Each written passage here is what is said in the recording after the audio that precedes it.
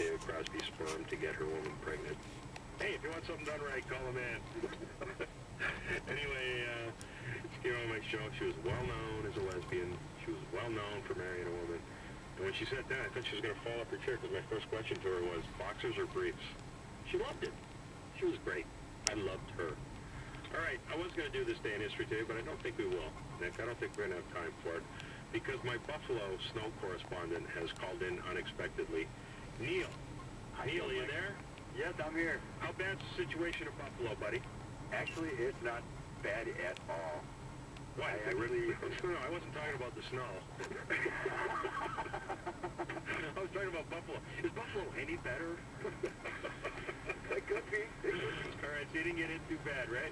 But, you know, I wanted to do the quick uh, intro to uh, John Moore doing this.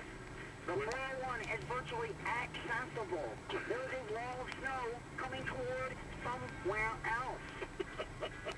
Thanks, Neil. Hey, we, we got to figure a way to enter that in the website. He should win. That was good. That was a good job Moore he did. Showgram coming up at 1 o'clock. Thank you to Nikki. Thank you to Dan. I will see you tomorrow. From the News Talk 1010 broadcast center in downtown Toronto. It's 1 o'clock. I'm David McKee with your